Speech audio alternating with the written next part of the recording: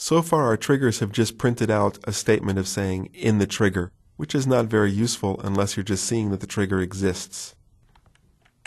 One of the functions that makes triggers useful is the update function, which allows you to examine a column and see if that column was touched by the insert, update, or delete.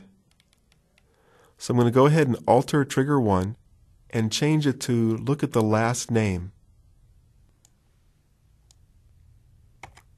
If the command that fired the trigger is an insert, that will touch every column, and a delete will touch every column, but an update, updates are special. Updates can touch just certain columns.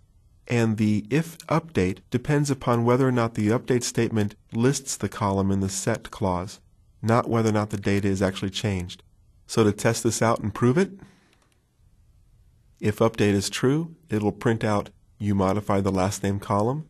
If update of last name is not true, it will print out the last name column is untouched. So if we update person ID's last name, in the messages, you updated the last name column. If we only touch the first name, it goes ahead and prints out the expected last name column is untouched. So you can see we're slowly building up the capability to do some very cool things inside of triggers.